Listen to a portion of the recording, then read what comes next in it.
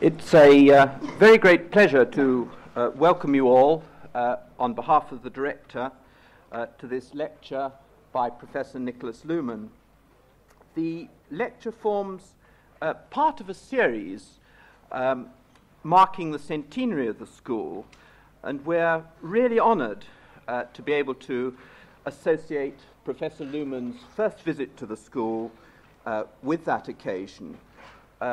You have visited us once. We hope you will come again often. Um, our lecturer is too well known to require any elaborate introduction. Uh, he has taught at the University of Bielefeld uh, since its foundation, and his writings there have given him a uh, preeminent place uh, among contemporary social theorists. All of us, I think, must be intrigued uh, by the title uh, that Professor Luhmann has chosen for his lecture this morning uh, Systems Theory uh, and Postmodernism. As confidence faltered uh, in the capacity of Marx, Durkheim, and Weber's work uh, to yield an exhaustive understanding of the social world, uh, a number of routes forward uh, began to emerge. One of these involved a rigorous uh, even austere reinvocation of systems theory. Uh, and that is the route which we predominantly associate with Professor Luhmann. Another route is represented by some unconstrained, uh, eclectic projects of deconstruction uh, grouped under the label of postmodernism. On the face of it, uh, there's some distance uh, between these two uh, programs, uh, even, even a sense that any attempt at admixture uh, would generate uh, turbulence. But the, the, the title of Professor Luhmann's lecture is perhaps suggestive of some link. I invite him now to relieve that suspense. Thank you, Professor Luhmann.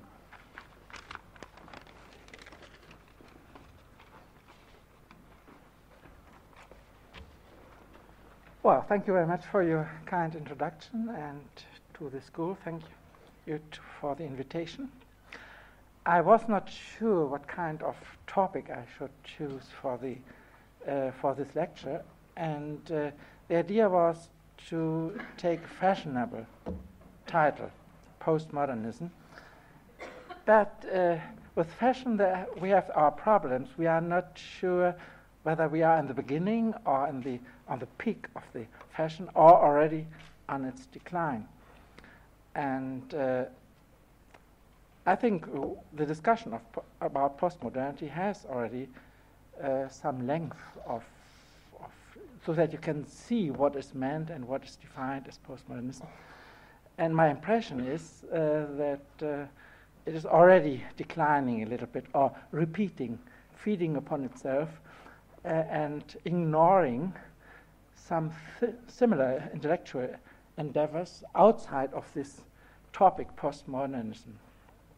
And uh, so the, the title of my lecture is uh, uh should draw attention to the capacities uh, of well, science, well, maybe formalism, maybe poetry, uh, to, to do similar things which are not visible in the narrow discussion on postmodern society.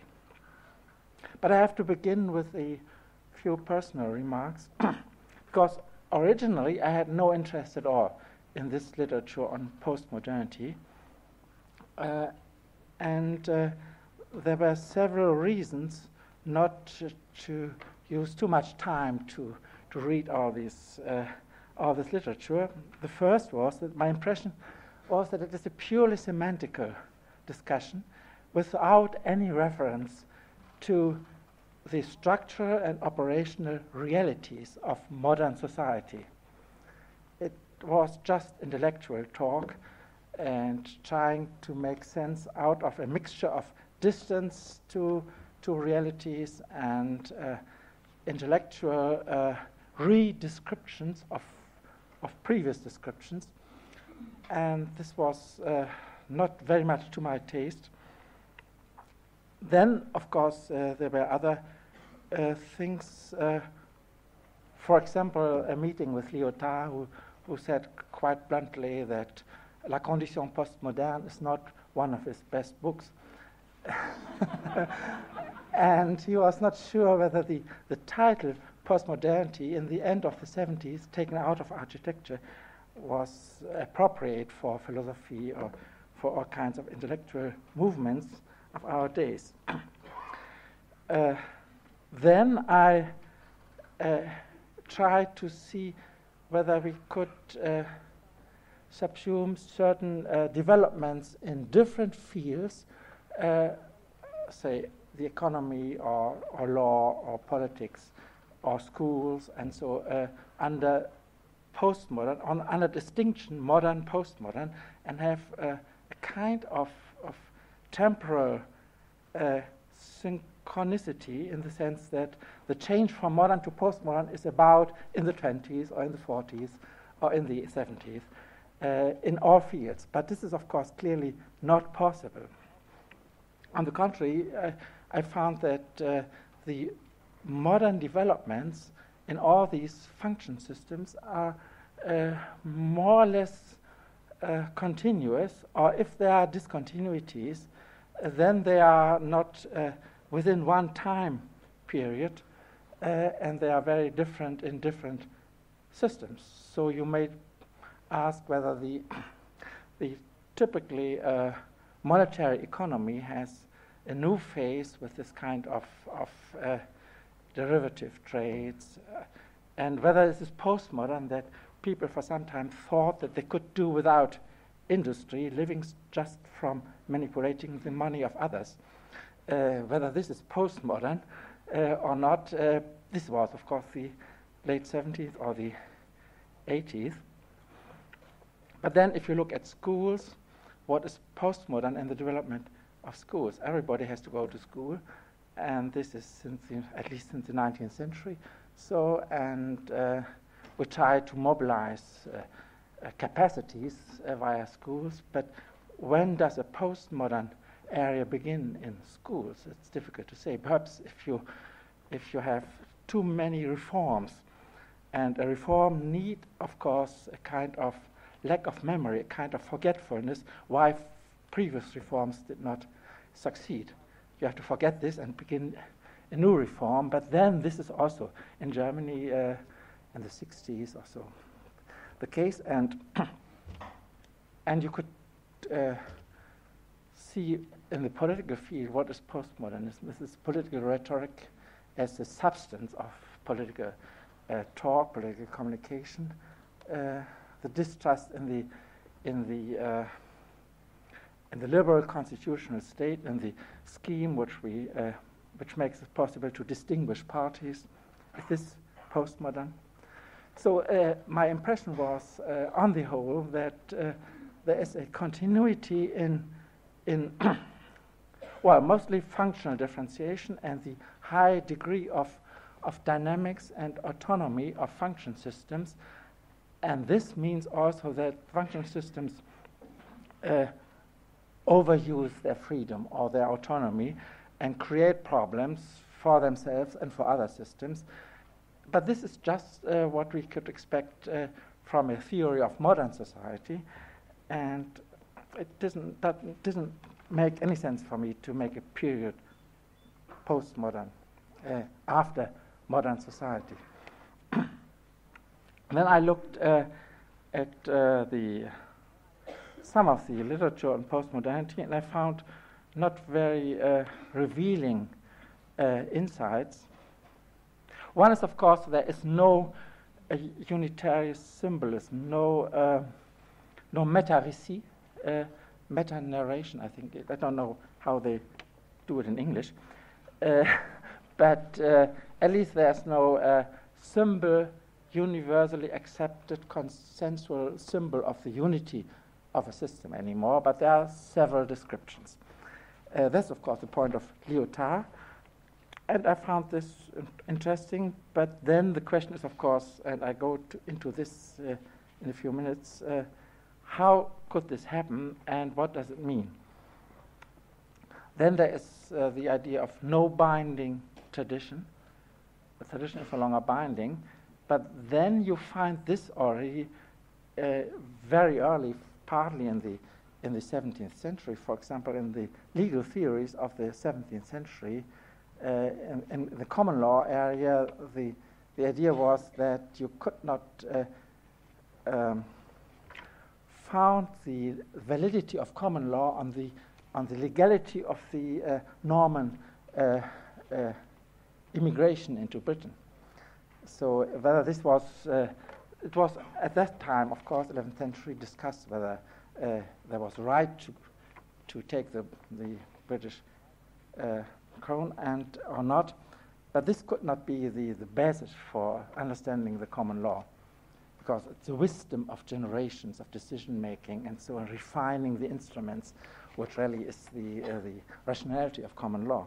And we had in, in Germany also the discussion whether the, the introduction of civil law into Germany was an, an, an statute of the empire, uh, of the emperor uh, Lothar or not. And, and the, uh, the first uh, history of German law in the 17th century made the point that it is just a development. And interestingly enough, the last chapter of the, uh, the, uh, this kind of uh, investigation was a chapter on reform. So uh, there is a, a, kind of historicity uh, and, a, and uh, a correlate to this in the idea of reform as a permanent task to reform the law. And is this postmodern or not? But it is 17th century. So uh, the only case where I could find any clear meaning is architecture.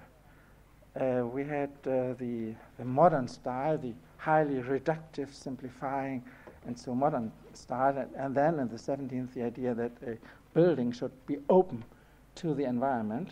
I mean, it should have contact to other buildings and to streets and to space around it, uh, and not just being a reductive monument of simplification and, and form. And it should also uh, appeal to different tastes of, of perspective, different, different types of education of people, different types of expectations what a good form is, a mixture of style, possibly. And so there's a clear break in the 70s. And as far as I know, Lyotard did take the term postmodernity from architecture. Uh, but then, if you look at uh, at uh, poetry or at the novel, and so you find no clear distinction between a modern and a postmodern area. Uh, there's a lot of discussion about this, whether we make a distinction between modernism and late modernism and postmodernism, and what, how the authors fit into this scheme, but this is already very unclear. So, uh, on the whole, I, I didn't see any sense. Uh, into uh, working with this kind of theory of postmodern society or postmodern intellectuality, philosophy, or whatever, until I became aware that my own work was associated with postmodernism.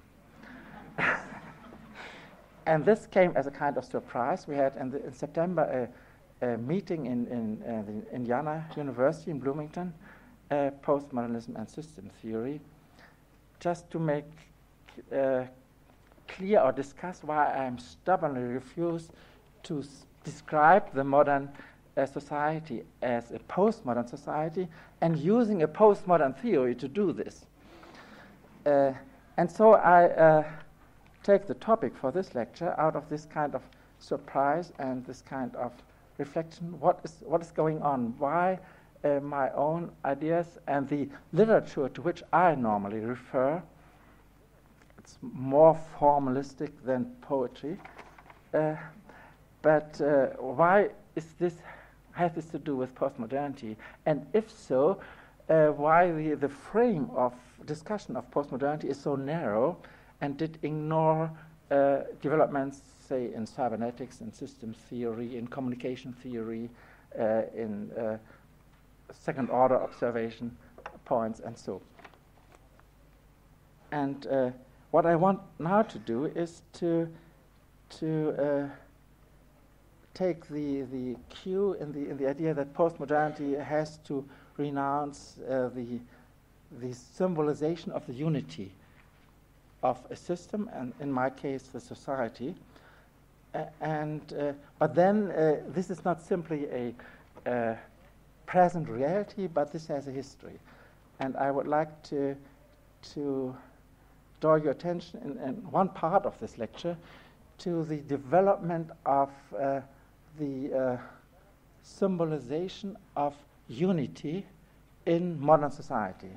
And I insist on modern society. Uh, I think the uh, development begins in the 17th century when uh, the uh, old hierarchical structure uh, lost its, its plausibility as nature, as the nature of the organism of society. There should be a ruling group and, and uh, there should be nobility and, and commoners, there should be uh, religion and so on and so forth, as a condition of the unity, of the natural unity of society. When this uh, was no longer plausible, partly uh, the, the split uh, in the religious confessions, partly the, the crisis of the aristocracy in the 16th, 17th centuries, monetary problems, and so on and so forth. The, the idea that aristocracy, especially in France, is a state institution, an institution of positive law, and nothing else, not something natural. Then, of course, uh, the, the idea that the society is by nature hierarchical uh, did uh, no longer convince anybody, and they had to invent substitutes. I think the first substitute was happiness, in the sense that everybody can be happy uh, in a society, whatever his condition, as long as he is satisfied with his condition. So, happiness uh, for everybody was a kind of natural argument which crosscuts the hierarchy, it, and it was even uh, referring to a long theological tradition uh, clear that uh, high class people are not necessarily happy, perhaps even more uh, unhappy than other people, uh, because their aspirations are very high and their, their uh, life is without, full of boring and full of ennui in, in France. And so the first idea was happiness, happiness as a natural possibility of human beings as long as they are uh, accept certain conditions of life as invariants and as a, their own position in society. This is Alexander Pope would be an English uh, author for this uh, kind of thing, Molière in France. Uh, and uh, this lasted until the middle of the, the 18th uh, century, and then uh, things began to shift, and I'm not quite clear why. partly, perhaps, the, the the increasing impact of a new property conception, uh, partly uh, the enclosure movement, and partly the uh, increasing legal machinery, new statutes, and so. Uh, and uh, at least in the since the French Revolution, the idea that uh, the, the society, the modern society, is not simply a sum total of all the individual happinesses or unhappinesses so the mental frame of the individual, the individual became more uh, a more important point in the argument. But just because this was so, you could not uh, have a uni- uniform idea about individuals anymore. Individuals are individuals; they are different. And so you, we needed an, another type of theory of society. Uh, and I think, uh, on the whole, solidarity was the, the next slogan. Uh, uh, and it shifts from, from nature to morality, to a normative framework. First, of course, in the, in the workers' uh, movements, uh, but at least at the end of the 19th century, with the sociology, solidarity, especially in France, was a term for the, for the society. A society without solidarity would not be a society and there should be integration. There should be a minimum of consensus. Uh, and of course, Durkheim's De la division du travail social is one of the, the monographs which makes this point. but then this did again uh, vanish uh, somehow and was replaced by the idea that the political system should care for, the, uh, for a similarity, not uh, equality complete, but a similarity of living conditions for everybody. So the developing countries, the, the problem of the poor, the problem of the excluded uh, population, uh, the Copenhagen meeting now is just another uh, example of this kind of concern with people who, who suffer, who have uh, uh, no chance in life, no perspectives, no future, uh, and uh, are the victims of a capitalistic or modern development.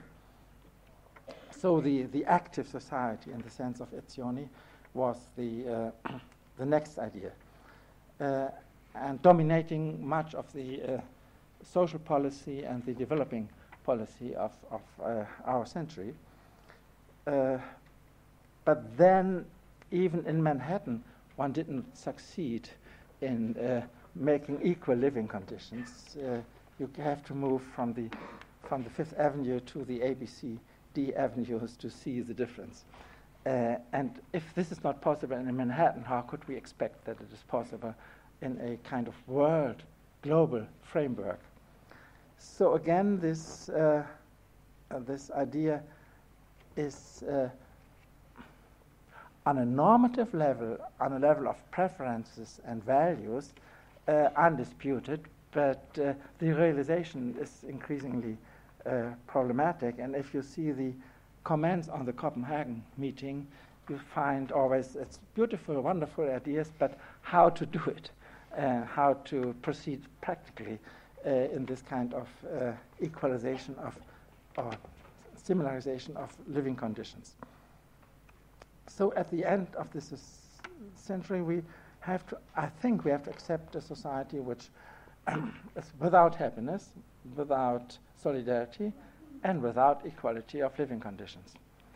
Uh, and then they invented uh, traditional terms, uh, civil society, a kind of seminar type discussion, a critical discussion about problems, uh, as a the last last possibility to to maintain the unity by being critical, just by having a distance uh, or making a difference between aspirations and reasonable solutions and the realities they found.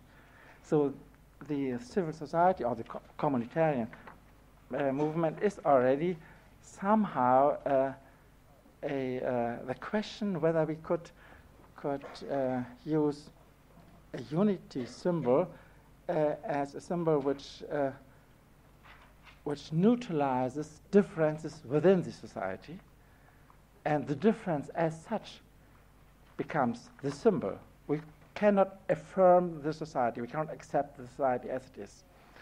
Uh, and uh, the difference is the unity. But this is only one, uh, one way to see the things. It refers to, of course, to stratification. Uh, the difference uh, which people have in mind in this kind of happiness, solidarity, uh, active society uh, uh, talk is the stratification, class society, and so. But there are other forms of differentiation, and we have similar developments in, in if you look at the society as functionally differentiated system. Uh, we have also a, a kind of development uh, in the sense of an increasing utopian or, or normative framework and an increasing difficulty to place hope into the, uh, the solutions of uh, the unity problem or the solutions or the, the replacement of, of uh, the bad consequences of differentiation with something more or less utopian. The thing started in the, at the end of the 19th century with the idea of division of labor.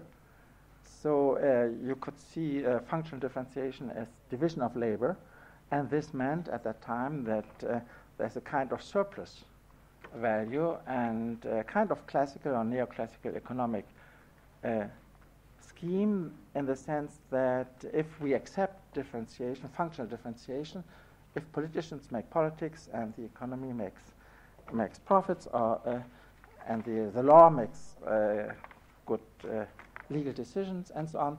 Everybody does his own job, and then the, the, the, the results would be, would be better in, in a kind of vague sense. If in the economy, of course, that's, that's uh, um, profitable uh, use of capital and, and labor.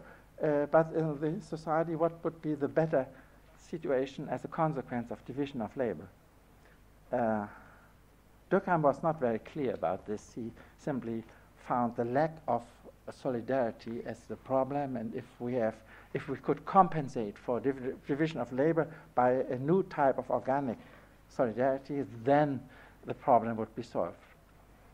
Uh, but then, in the during this during this century, the um, the uh, emphasis shifted from division of labor to a modernization theory which uh, looked at different function systems as such. So, in the political system, we should care for democrat- democratic solutions, uh, maximize consensus, and minimize force uh, in the hands of politicians. And in the economy, there should be a market society, uh, uh, there should be a credit available for finding the best uh, best point in time for consumption or for production. In the school education system, of course, we have to have schools which use the capacity of individuals uh, for learning and for developing their own natural uh, capabilities. In the legal system, we should have rule of law or Rechtsstaat in the, in the German sense, which controls even the political system science, of course, should be uh, organized around methods and theories and not around uh, ideological assumptions or religious, religious topics. Mass media, the same. So the idea was that if, if only we would uh, modernize all these function systems in a certain Western type of orientation, uh, then this would be, uh, the result would be uh, a better society uh, in the sense that the function systems support each other. If we have uh, good schools, we have good labor. if we have good labor, we have high productivity, then we can use uh, surplus money to compensate for for social problems. Uh, and uh, if we have free press and free scientific research, we would be nearer to discovering the truth and having uh, exact information about the situation of our society, and so on and so forth. The, uh, the idea was, uh, and this was not very much elaborate, but simply assumed that uh, the dynamics of function system, uh, which were visible also as a, if you compare modern society with traditional societies, uh, if these dynamics were just set free, then the system would grow, growth as the central phantom of modern society, uh, and then everything would be better than before. Independently of whether we have a regional idea about convergent trends or whether we accept that regions have different routes towards uh, a modern society. But this ignores some troublesome facts that the uh, function systems, if they are operate on their own, as operationally closed function systems, they can create problems which cannot be solved in other systems. So one of the examples, of course, science, the, the atomic energy, atomic bomb uh, problems as a political problem. Uh, and uh, the scientists, of course, say, well, we can do this, and we can show this, and if it is possible, it's hardly to resist uh, uh, the use, uh, either in economic terms or in, in political terms. but then, how can the, the political system regulate the use of atomic energy or the atomic possibility, possibility of atomic warfare?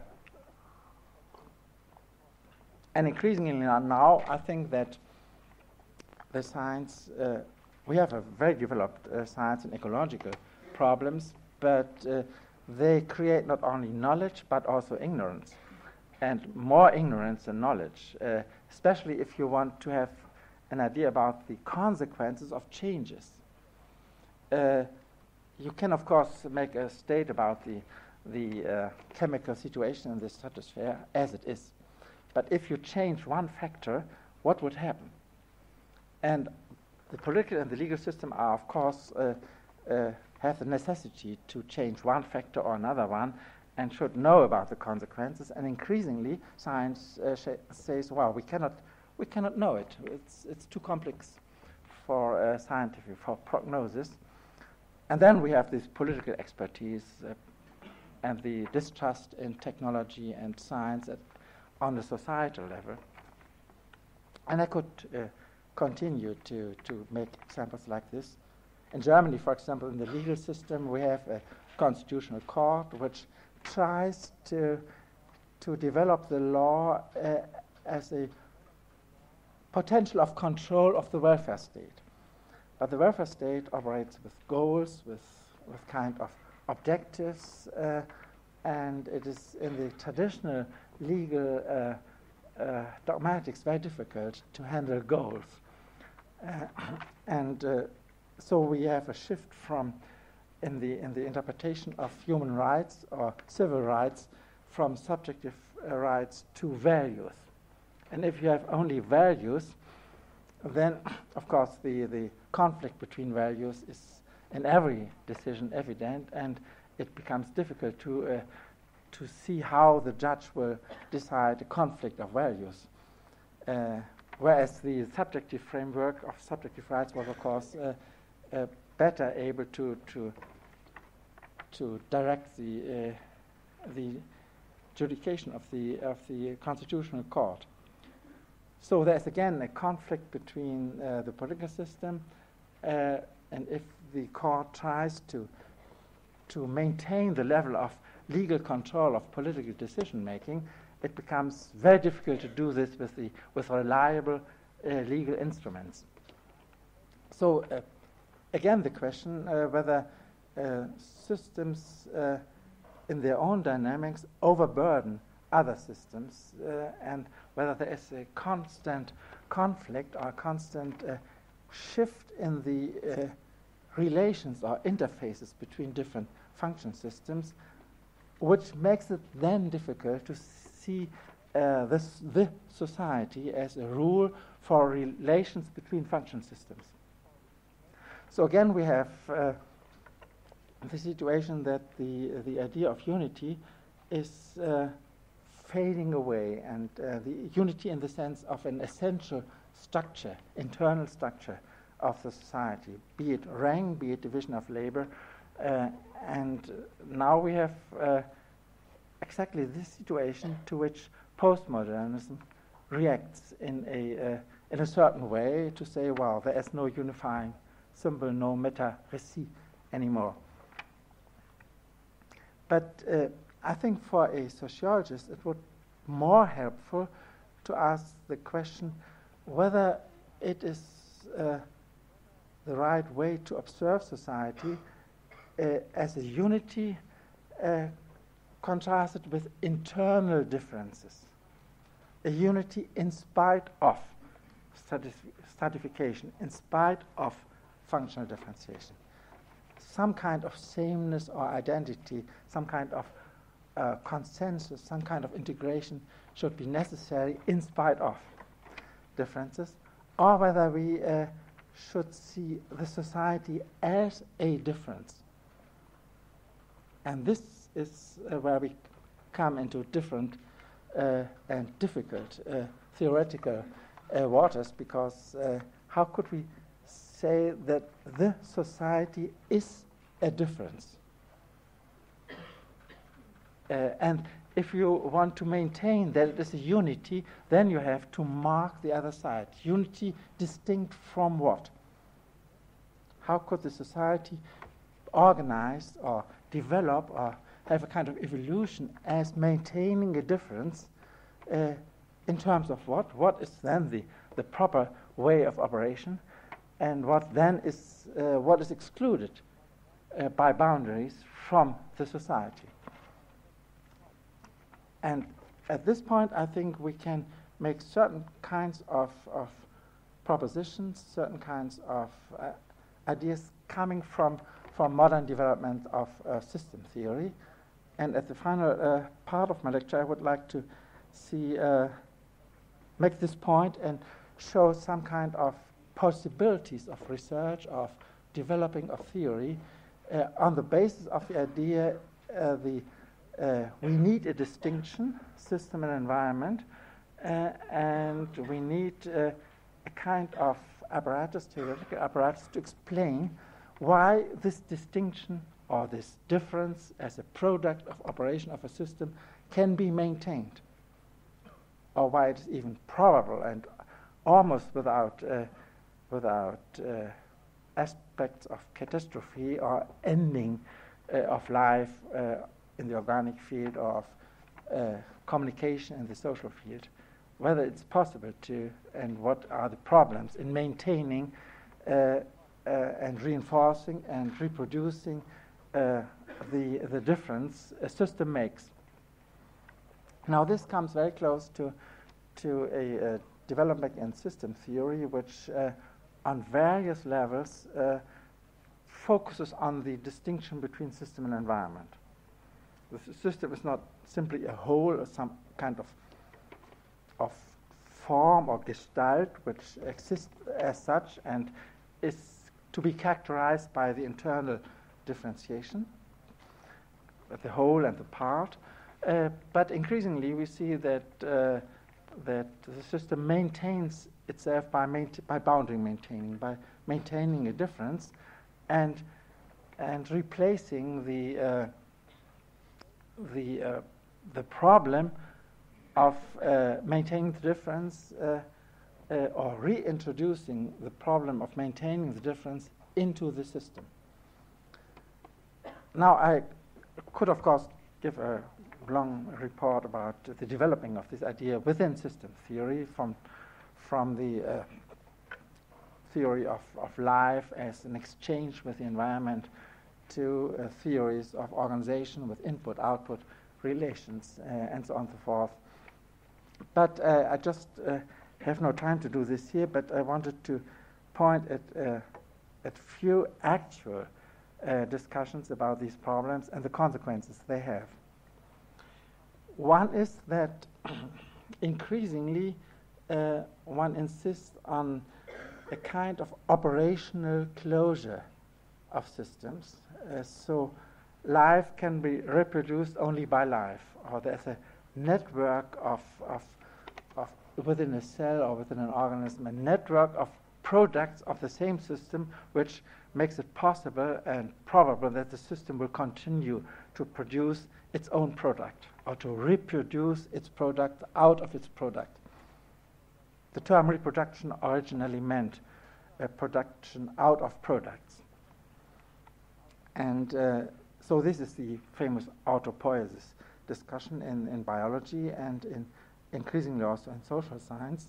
Could we imagine a system in spite of all kinds of causal interferences between system and environment, could we maintain that it is operationally closed in the sense that the, the autopoietic organization or the reproduction of essentials of the system uh, or the reproduction of the possibility of reproduction is guaranteed by the system as such. And there's a kind of evolutionary selection that uh, autopoietic systems are tested in evolution whether they can do it or not. In spite of uh, uh, the kind of causality which we have, of course, always uh, to assume, a brain is operationally closed, uses its own language, and so on and so forth. But of course, if you cut the, the head off, then the brain will stop. Uh, and so there are clear causal relations with the body. Uh, but in spite of this, we have operational closure. And I tend to, to apply this kind of idea of operational closure to the society, uh, saying that society is closed on the level of communication. Communication, not action, communication is the, the type of operation which produces uh, a society and reproduces it out of its own product by a kind of recursive reference to previous communication and an anticipation of possibilities to continue communication. Not necessarily consensual, of course, not reasonable, uh, but uh, in a way producing always the, the possibility to say yes and no and to make a decision I accept or I do not accept what is proposed, and then the, it goes on, and everybody has a chance to make its own statements and continue uh, the communication, reproducing always the difference between yes and no, uh, or rejection and acceptance of, of propositions. Uh, and if you have this, uh, this idea of operational closure, uh, which is uh, which cuts across the, the old distinction between open and closed systems. The, the old distinction meant simply causal isolation. Uh, closed systems are causally isolated and therefore decaying in the, in the tendency, in its tendency to, to entropy. Uh, but open systems can manage this problem. This old distinction is just uh, no longer actual, and operational closure means not causal uh, isolation. I have to make this point uh, and repeat to make it clear because uh, there's all much confusion about this idea. If we call uh, the economic system, uh, for example, as an operationally closed system uh, on the level of payments, communication via money is the the autopoietic mechanism which maintains the economy separate from from law, from politics, from science. And so if you have this, then of course you get the objection, wow, we cannot have, we don't pay for nothing. I mean, we, we have our wishes, our needs, and our references to environment, uh, and we are causally dependent on, on uh, technique, technical technology, technology, and so on and so forth. And it is simply nonsense to say this is a closed system, but it, it is a closed system in the sense of operational closure. But then we need a second, uh, and this is, the, uh, I think, the more important development in recent uh, second order cybernetics, but also in the mathematical uh, calculus of, of uh, George Spencer Brown in England, that uh, you need to compensate for closure by reintroducing reintroducing the uh, or copying the distinction of system environment into the system. Uh, in, in the, the calculus of laws of form of George Spencer Brown, this is called a re-entry of a form into the form. And that means of a distinction into what is distinguished. And uh, this is, of course, completely clear in system theory. Uh, the system does not only produce a difference, but uh, it makes itself, by its own operation, a distinction between system and environment. It copies the, what it produces as a difference, as a distinction into the system. So that the system uh, distinguishes between self reference and external references. Communication would work only if you m- make a distinction between words and things. If you could not make this distinction, you would simply uh, not be able to communicate anymore. If you uh, continually uh, make confusion between the word apple and real apples and try to eat the word, uh, this would not, uh, uh, not go very long. It would not be autopoietically possible. So, in a sense, the, the distinction between self reference and, and external references is a, a necessity that means that the system cannot reach the environment with its own operation. It cannot uh, get out of the system with its own operation. This would simply be an enlargement of boundaries.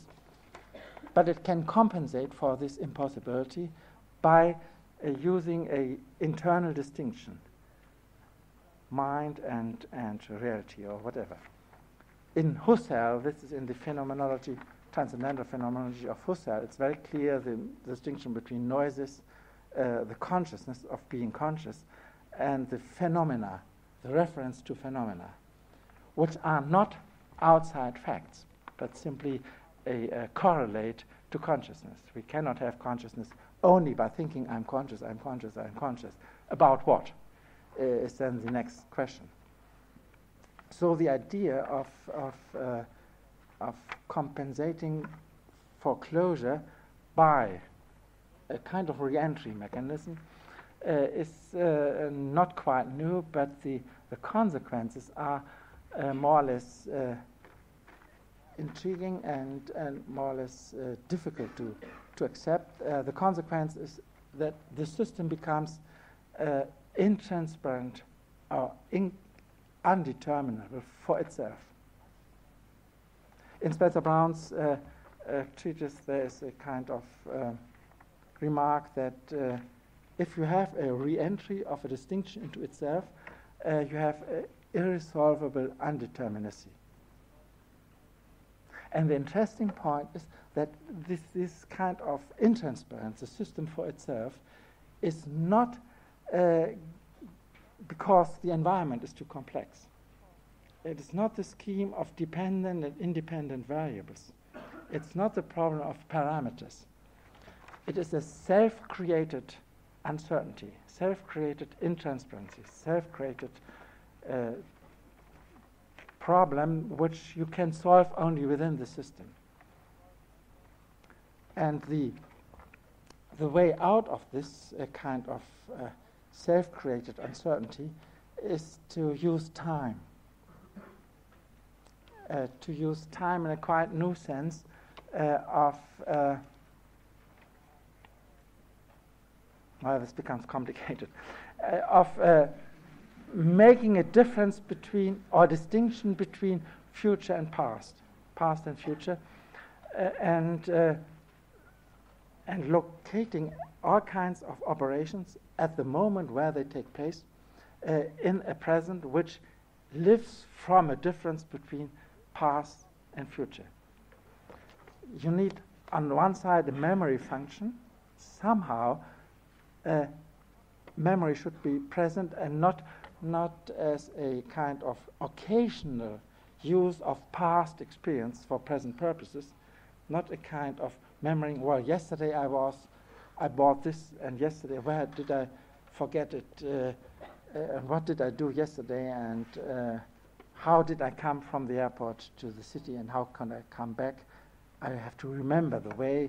This is quite occasional, but uh, the, this new type of memory function is a function which act, which is part of every operations. If something is familiar to us, that's something that I know that I can drink water. Uh, I don't remember uh, the occasion when I learned to drink water. It's just a kind of familiarity which uh, limits the frame for the future. So memory function on one side and the, the oscillation function on the other side oscillation in the sense that you have always to make distinctions and you can cross the boundaries. If we have the distinction of, of say, good and bad behavior, we could, uh, of course, uh, if we uh, want to be virtuous, we can, of course, uh, not avoid the possibility to be non virtuous, to, to addict to vices. And, and so this scheme, virtue vice, is an oscillatory scheme. You cannot have one side only. You have always bo- both sides, and you have the possibility of crossing. And this possibility of crossing all kinds of distinctions uh, is uh, the indicator that it is future. Now, uh, well, I, I could go into uh, comparing this kind of temporal idea, distinction of past and, and uh, future by uh, memory on one side and by uh, oscillation on the other side. Uh, and then comparing this with our traditional concept of time as a, as a measure of a process, as a kind of chronology, a kind of number system. and we have Wednesday or Friday, and we are at this date, and and so the the continuity is uh, of time is guaranteed by the, by the distinction between mobile and immobile uh, uh, states, by a kind of flux, a kind of stream of time, uh, which presupposes then that not everybody, everything is, is on the same uh, level of movement.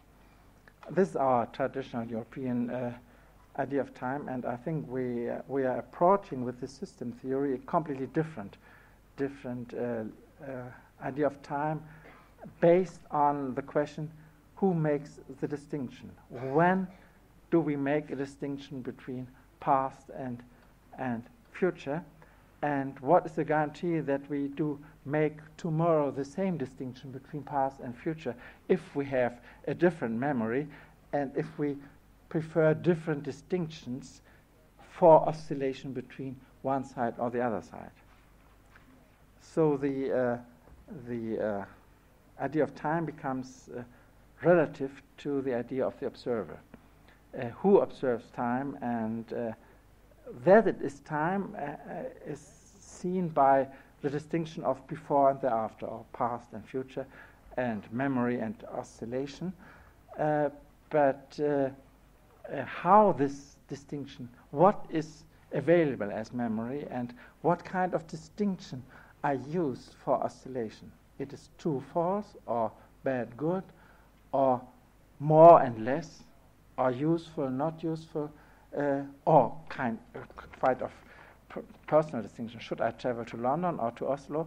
Uh, and if I cannot be at the same place at the same time, at both places, so I have to make a decision and oscillate between two possibilities. So uh, the this all depends on a idea of the observer, who is uh, the last reference uh, in choosing uh, or reactualizing his memory and choosing a distinction for future oscillation, which includes uh, distinguishing the distinction, whether we are political, interested in having power and having an office uh, to spend power, so to speak, uh, or whether we are scientists and think in terms of theories and, and, and demonstration of truth and so on and so forth, or whether we are family, uh, have an interest in maintaining our family uh, and uh, organizing everything around uh, family life, neighbors, and, and tastes, and and solve solution of internal problems, and so on and so forth. This, uh, that's the last point, um, can be uh, seen as a question to, as, the question, what is reality in this kind of thinking? if you have no contact to the environment, if you cannot reach the outside with your own operations, if you cannot think out of your brain or your consciousness, and if you cannot communicate with, say, uh, chemicals to say, well, change please uh, uh, your poisonous effects and your pollution, uh, you cannot say it to the chemicals and then hope that they will either obey or not obey. They will not even understand. So the, uh, if we have this kind of, of operational closure, we must internalize the reality uh, aspect in the sense that what is then reality? Traditionally, of course, reality is always, uh, since at least since Kant, a, a test, uh, a result of a test uh, using the resistance of the outside, the Ding an sich, uh, as a resisting force. If it doesn't go, if it doesn't work, it doesn't work. And then we know not the reasons, and we have to construct our own ideas about why it doesn't work. But that it doesn't work is, is uh, an, an, impact of the environment on the system. But if we cannot uh, check uh, whether it works or not, because we have only internal operations, what is then the, uh, the uh, reality? What what is meant by reality in this kind of theory. And I think we should uh, not uh, give up the idea of resistance, but we should replace or place it into the system and say that it is the result of or the solution of an internal conflict, uh, and it is the result of a resistance of operations of the system against operations of the same system. So there is a resistance of communication against communication. If I present a theory and everybody shakes his head, then no, that's unacceptable. And, and uh, I find always in the communication resistance, then uh, it is a kind of, of reality test uh, within the system without any regard to, to outside uh, questions, purely on the level of communication. And this, of course, has to do with the theory of memory, which I tried to, to, to outline uh, just before. So, memory is the, the possibility of resist, uh, uh, resistance against uh, new ideas, new irritations, new impulses, new, uh, new problems. We have always to, to check whether it works within our memory frame. There's no other check. This is, uh, by the way, that's again a, a, a, Paul de Man formula, resistance of language against language, uh, as a kind of, and this refers again to postmodern literature. But the, the background is completely different. Now, a final remark uh, if we as sociologists offer such complicated and, and to large extent unplausible or, or uh, difficult to conceive uh, idea about society, about the world, about systems in general, then uh, could we contribute to the self-description of modern society?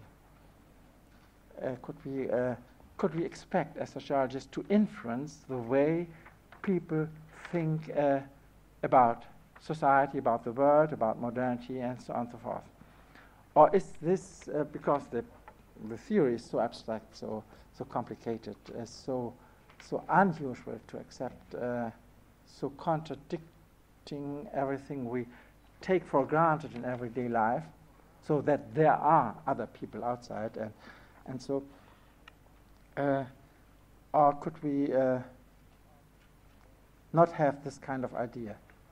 And I'm rather skeptical from many uh, kind of discussions and uh, also from the relatively isolation of, of this kind of self-referential system theory in the inter- already in the intellectual discourse of, of uh, the last decades uh, and the difficulties to, to explain this. Uh, I'm rather skeptical whether we could compete with uh, what mass media normally present as the world, the society, with preference to, to moral integration, to moral values, to good and bad guys, and to, to action, uh, and uh, to persons, uh, uh, and to catastrophic events, and so on and so forth. Uh, and our, our normal everyday awareness of the society and the modern world and the ecological problems, everything is so much uh, determined by the mass media that it would be difficult to compete uh, with the mass media. But this does not mean that uh, that we are not able to write a better theory of modern society. Although, if this is only for for uh, sociological purposes, for improving uh, uh, theories in our special scientific field, and I think if we can do this, this is already uh, a lot. Thank you very much.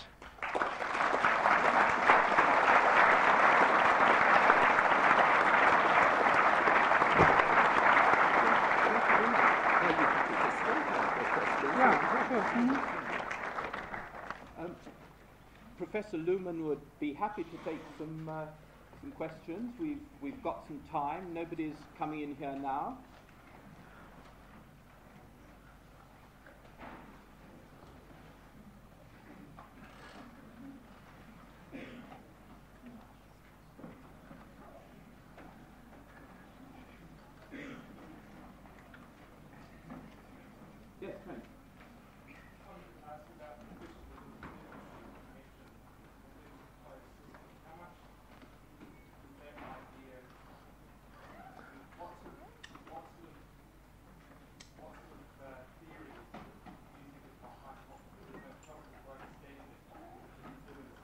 Excuse me, I have acoustic problems. I, that's too much noise around. Can, can you speak a bit louder?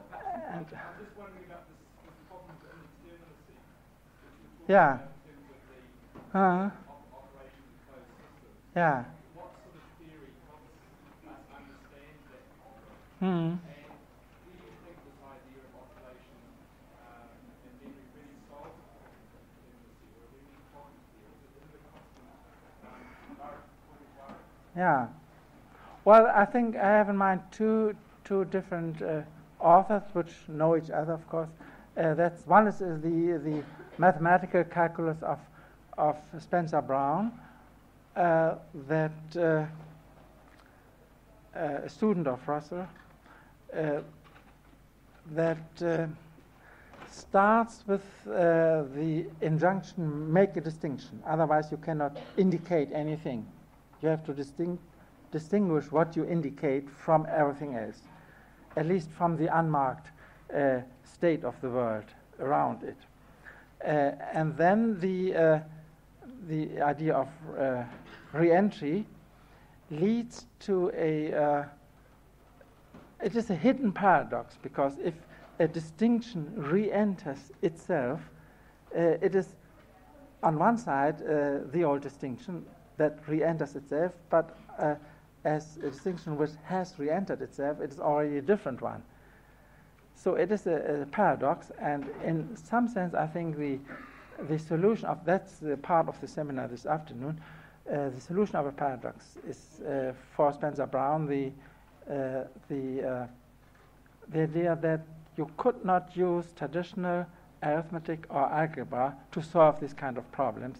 You have to go in the in the field of secondary functions, in the field of imaginary spaces, imaginary numbers, and so on and so forth. Uh, and uh, and then you you cut the the uh, expectation that uh, numbers refer to realities which can be counted, and uh, you have uh, irrational problems within the within the mathematical calculation, and you cannot use the traditional forms anymore. And it goes not very far beyond this. Uh, unresolvable indeterminacy is uh, a formula in this context. It is also clear that it is not uh, unresolvable because it is outside of the system. It is a self-created uh, problem created by reentry, but uh, there is no clear indication how you can have a new calculus. And oscillation in the sense of Spencer Brown uh, is then simply a oscillation between marked and unmarked. If you uh, mark something, you can, by marking, not ignore the fact that there's unmarked space or unmarked state of the world around. And there are some comments on it that uh, uh, our observations severs the world into two parts, and the unity is no longer visible.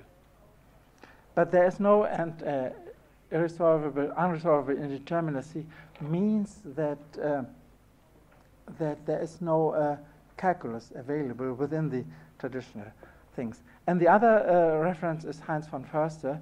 Uh, he has a collection of essays in, in English observing systems. And the latest one are not in this collection. This is from 81. Uh, but he makes a distinction between trivial and non-trivial machines. Trivial machines are machines which, which uh, produce, uh, if you give the same input and the same uh, transformation function works, you have the same output.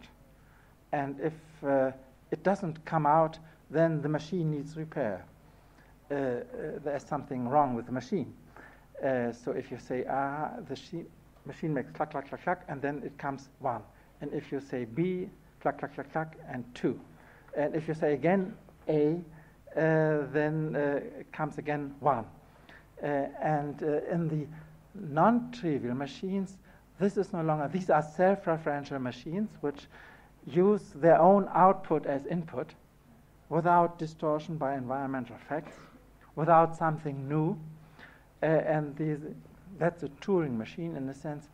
Uh, and these machines are unreliable because, for example, if you get a question uh, from your teacher and you give the answer, it may be right or, or wrong. Uh, but then, if the question is repeated, then you ask, why does, does he ask the same question once more? Uh, and then you say, well, you ask, you give not the answer, but you ask, what does it mean to ask always the same questions? So you have a new state of mind produced by repetition, and you become unreliable.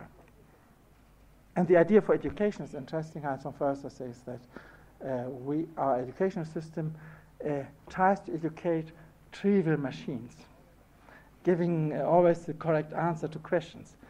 But we should, uh, we should educate unreliable people, uh, which, have always the idea that could invent something new.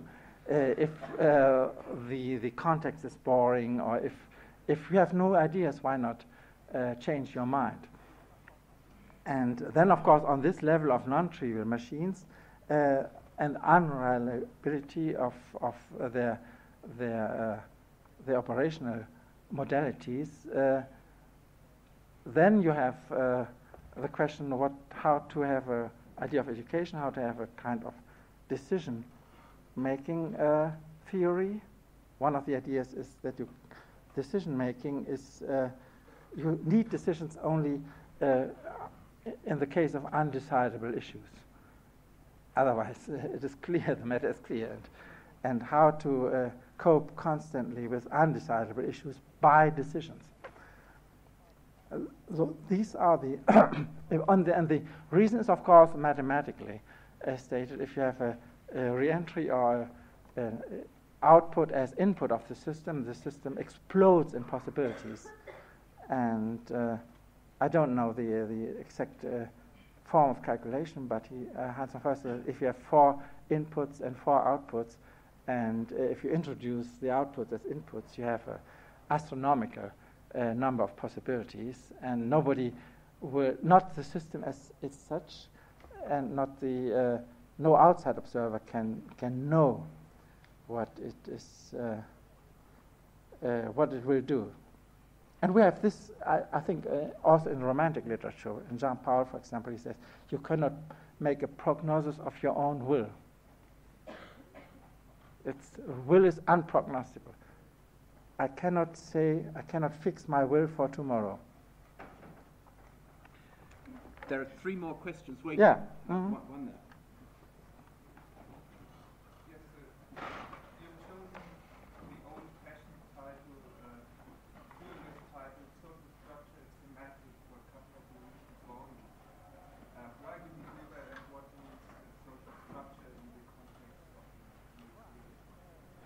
Well, uh, this is partly a, a, reformulation or redescription of, a, of the classical uh, ideas of uh, sociology of knowledge. That semantic states means ideas or concepts or words uh, which are in a certain use and change their use. And social structure uh, refers to social conditions and the point, uh, the distinction between this kind of uh, sociology of knowledge and the, the classical one, Marx, uh, Mannheim, and so also the Edinburgh Science uh, Unit, uh, that on the other side is not simply interest or power, but the forms of differentiation. So I try within this, these are essays, more or less long essays, uh, on historical matters like concept of time, like uh, love, uh, ideas about passionate love, and so on and so forth, reason of state.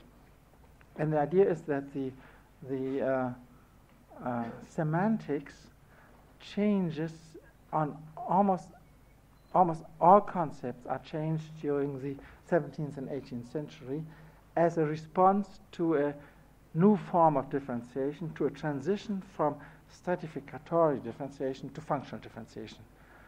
And this has to do with a work in Bielefeld of historians like Koselleck, who say that the late 18th century, the last third of the 18th century, centering around French Revolution, did change all, all social and political concepts in Europe. Uh, and I, but this is just an historical observation, description, but not no explanation why this is so. And I try to to say that if we have a radical change in the dominant pattern of internal differentiation of the society, then even, of course, interest change, power uh, change, the concept of interest is invented in this kind of, uh, of uh, transition, uh, or it gets a new meaning. So the, the real uh, other side of the distinction is not interest, but social differentiation.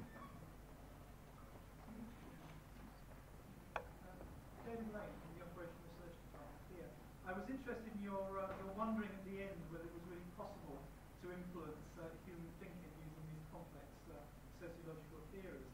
Um, from, from my field, operational research has used arguably some very watered down and simplified ideas from systems thinking, but has actually used them to intervene in the world. I'm thinking of viable systems model of Stafford Beer, Forrester's work in system dynamics, Checkland's work in soft systems methodology, which attempts to draw on Husserl's work. and my question is, do these activities offer a more practical hope of creating a deeper, more systemic worldview? Uh, and if they do, should sociologists be more interested in them? Well, there are two possibilities to answer this. The first is whether this is uh, already not on the level of the more recent uh, theories of self-referential systems, and whether we have simply the necessity to simplify or whether there is within system theory uh, development in the uh, in the direction of second order thinking of uh, inbuilt self-reference into systems and and so. Uh, this is one uh, question or one type of answer and I'm I think that we should reformulate the the Stafford Beer type of cybernetics in these more recent uh, terms. But then the question, in my experience, is that there is indeed a possibility, especially in the in the uh, business consultant uh, work, to to use uh, autopoietic uh, ideas and to use uh, the Palo Alto type of constructivism in family therapy.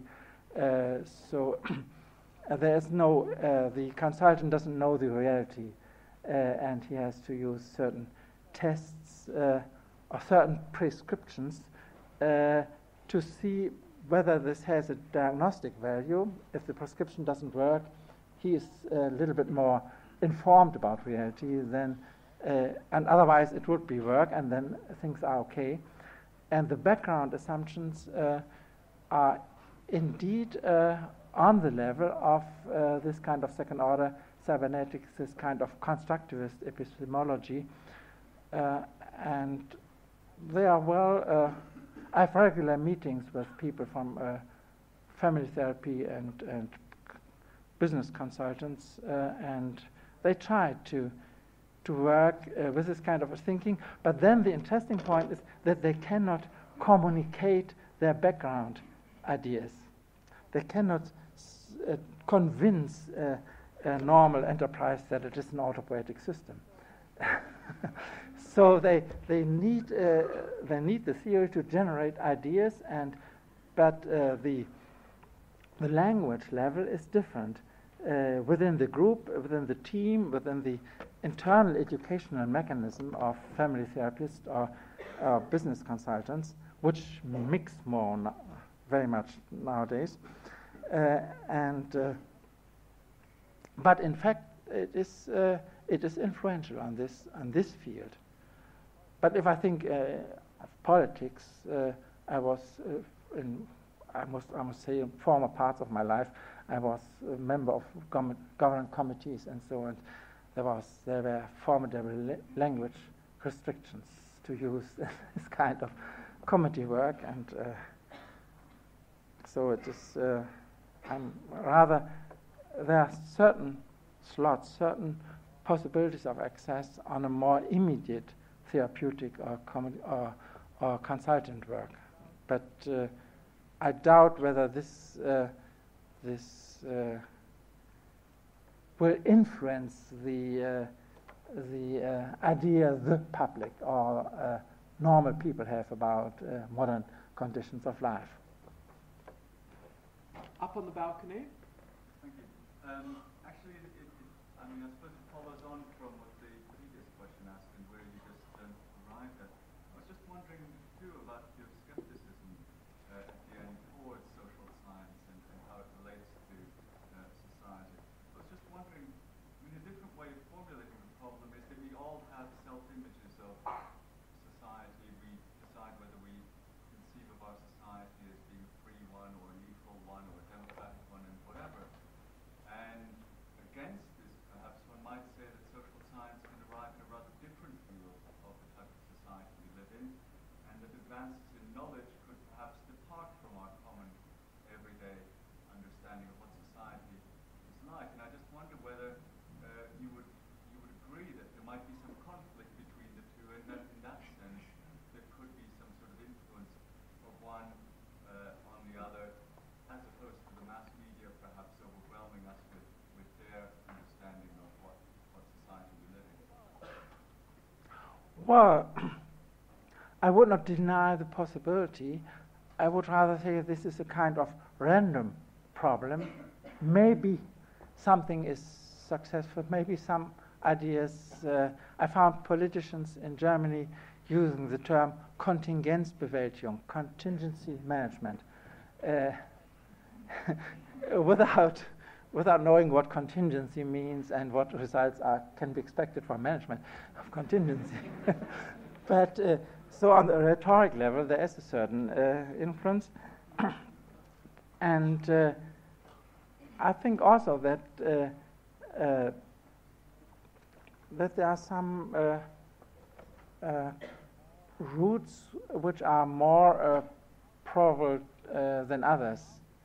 My experience now is, uh, for example, in the, the discussions about ethics.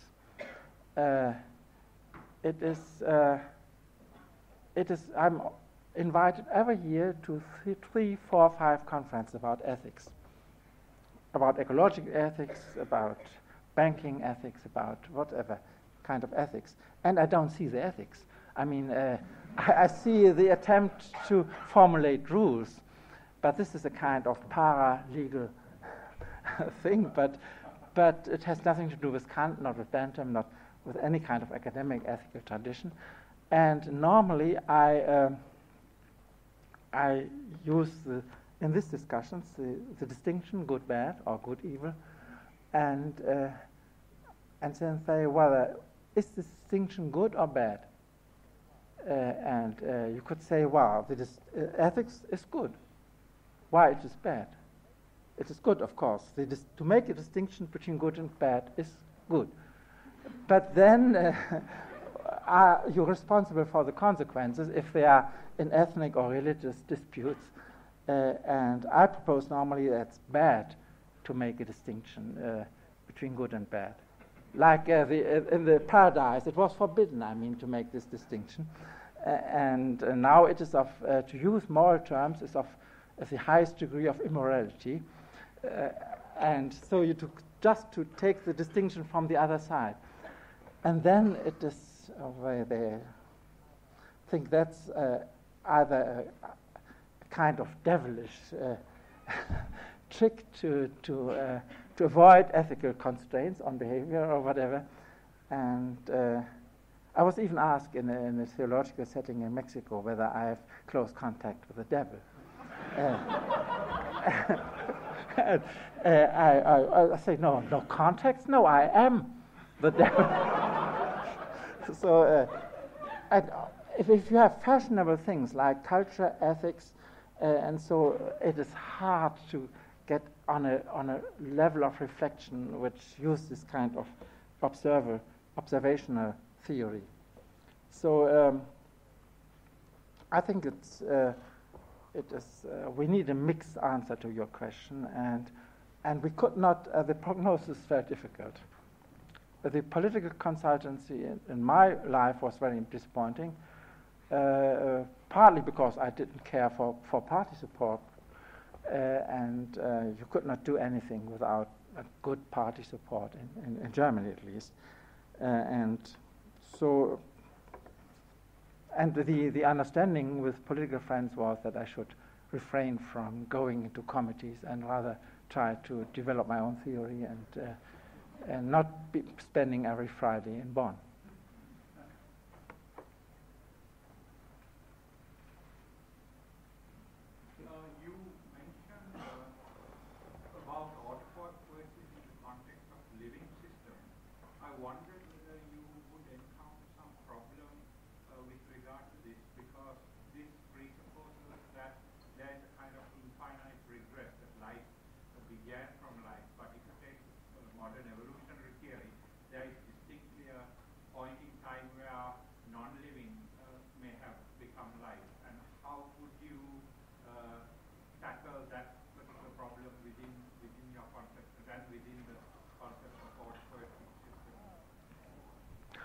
Well, uh, on the level of, uh, in the biological field, uh, I'm of course not uh, competent to answer this question, but my impression is that the theory of autopoiesis simply ignores the question of the beginning.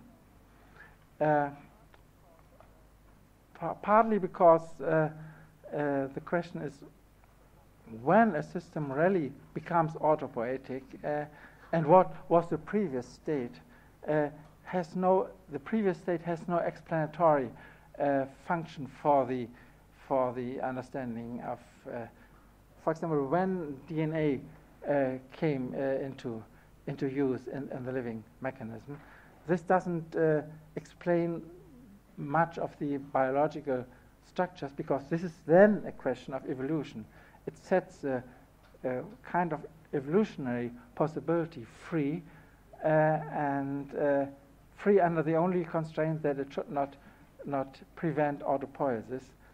And the, the whole distinction of, of uh, living forms is, uh, is not, does not depend on the, on the beginning. It is not a kind of, of original state which explains the later things.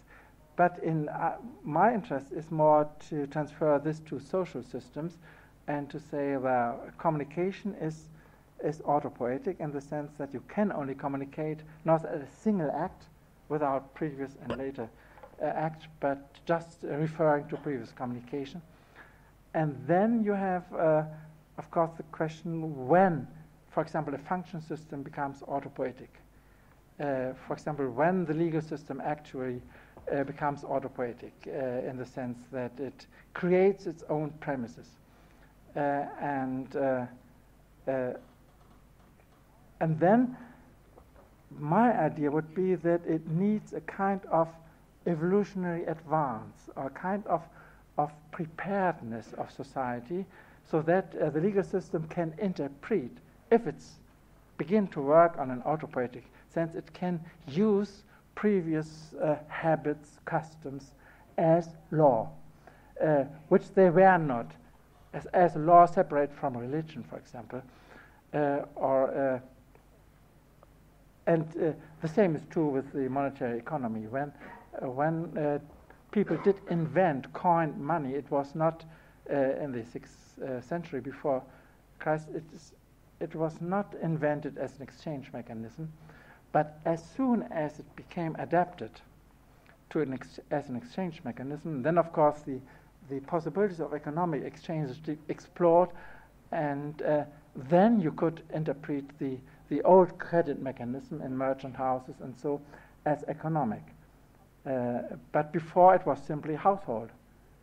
Uh, and so the, uh, there's an, a redescription of history uh, within the autopoietic system to adapt history or previous states to, uh, to the assumption that the system was always autopoietic.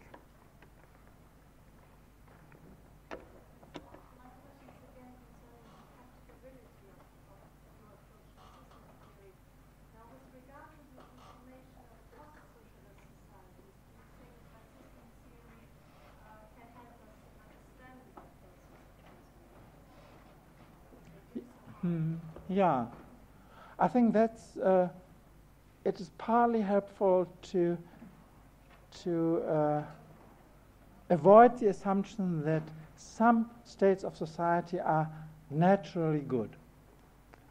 we could uh, we could avoid the idea that market society is superior as well, just uh, as market society, and see uh, the problems we have, for example, with international financial systems, uh, and to uh,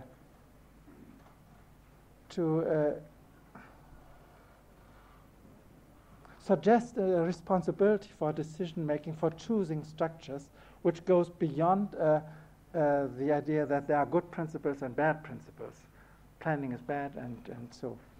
And I had an interesting discussion with uh, Chinese. Uh, he was in the embassy in, in, in Bonn and is now uh, was then minister, I don't know, in, in China about economic development. And so uh, he wanted to make, he accepted a dissertation on the autonomy of science and did even finance it from China. And uh, then I, the, the, discussion was as follows uh, Why did you do this? Why did you think of science as a system?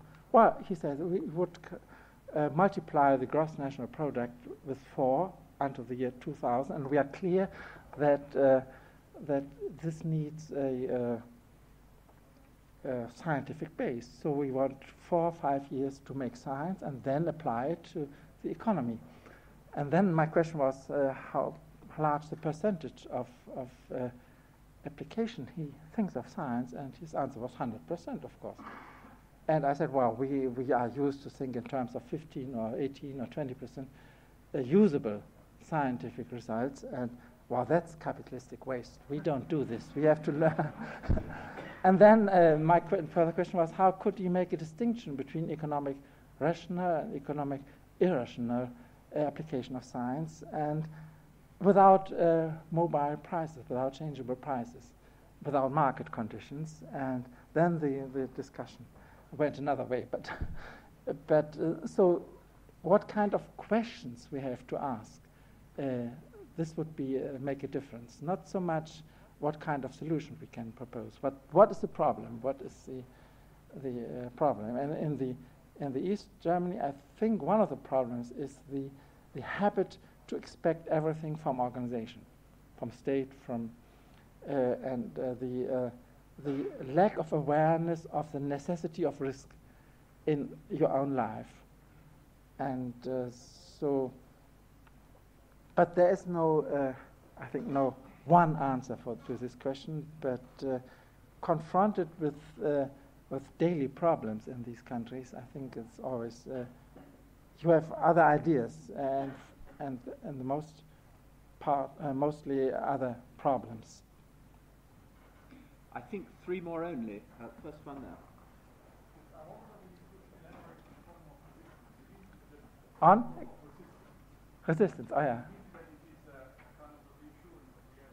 Uh-huh.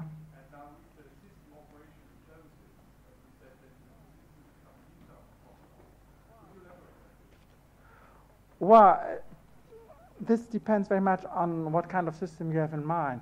If I take uh, the brain, for example, or the, the centralized nervous system, nerve system, neural system, uh, then I think the uh, resistance is uh, just in the in the habits of linking uh, linking mechanisms uh, and and a kind of conflict solution. For example, you have you have a confused uh, way. If you have two eyes, you have a confused picture. In the in the you have a conflict, and what you see is the resolution of the conflict. Not something which is imported from the outside, but you create an, an indeterminate situation via different ways to look at the reality, and you solve it uh, with space distinction. Or in memory, if you have, uh, if we, we would have no time idea, yesterday and today and so on and so forth, we would have everything at the same time. That means uh, unresolvable conflicts. But if you have time, you can say, well, this was yesterday. I was on the airport yesterday, and now I'm here. So uh, uh, it is not a confusion. We can solve uh, by temporal distinctions many of the problems. And then time becomes uh, a real a, a indicator of reality. And I think we could use the same, uh, the same idea in communication uh, in the sense that you, you have resistance. If you have crazy ideas, you don't find uh, acceptance in your public, and you, you eliminate uh, things, and you, uh, you do not, uh, you can use innovation but innovation is always pre-tested, what could be accepted and what not. Uh, and uh, so the communication always the, the possibilities of a yes and a no as an answer. You can reject or accept what uh, is proposed. And this is a kind of, of uh, resistance, uh, and you, you check always uh, whether you find resistance or not. Of course, you can, you can like to have resistance, you can like conflict, and you can provoke. Uh, and uh, have a kind of remote control. You provoke the public, and you know it would explode at least, uh, and uh, and you enjoy it. Uh, but uh, it is always a kind of checking the possibility of resistance in in premeditating communication.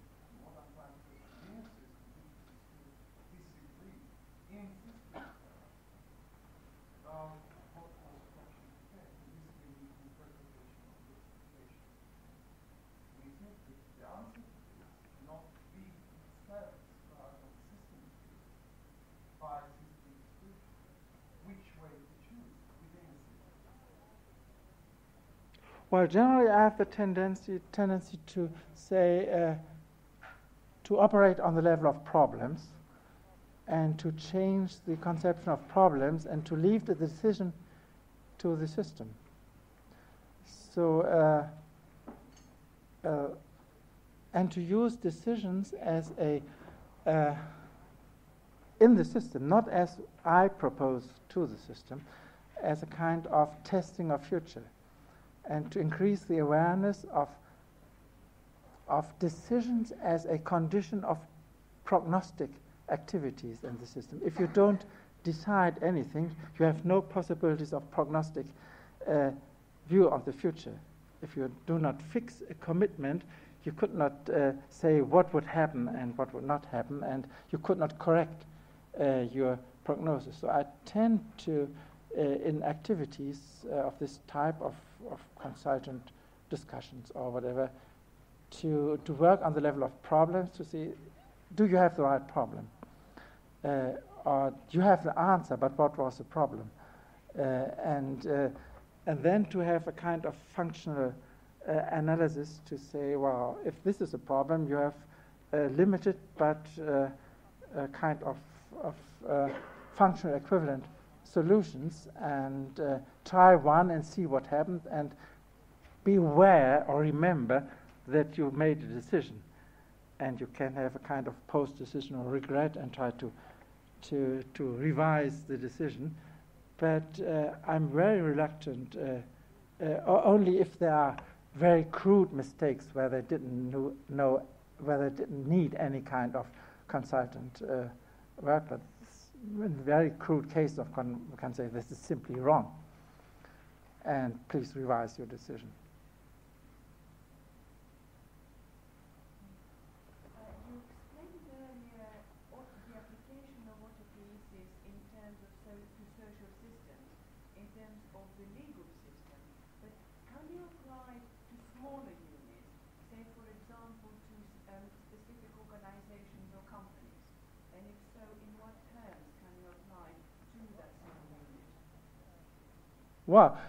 yes, I think um, actually I'm working on a, on a book on which will be published probably in Italy first uh, on organization and decision, and uh,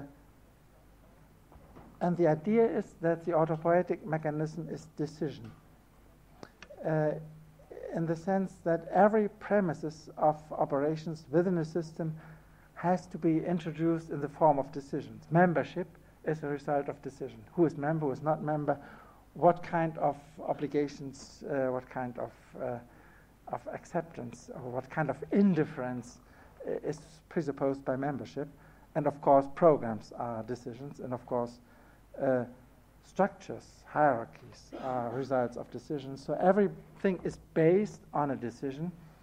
Uh, and then you get habits and so called organizational culture and so, but you can dissolve this again uh, uh, in, uh, in decisions by saying that organizational culture or corporate culture is a, a, a result of decisions which has become undecidable.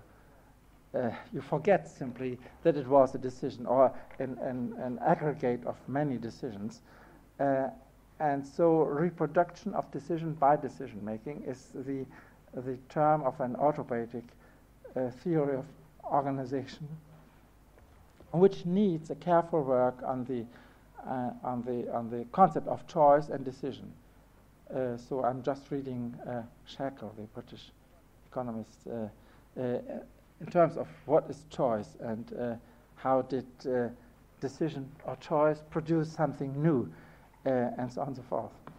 So I think if you use this kind of, of uh, theory, you have to uh, you have not to be content to define decision as choice, but you have to explain uh, how the elements of choice are distinguished in the first place.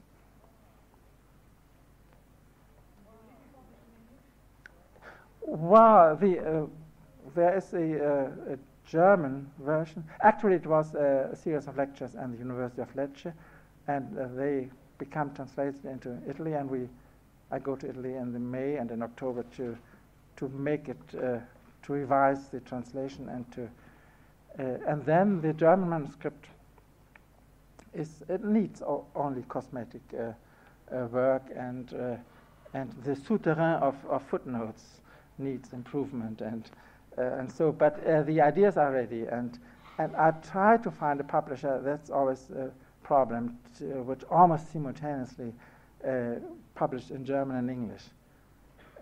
this is De Gruyter in, in Berlin, but so far there is some work to do. Well, uh, very, very reluctantly, I think we must we must stop there. Um, but Professor Luhmann has given us a rich, suggestive lecture, uh, which is um, going to be for us a memorable event uh, in our centenary year. Thank you, sir.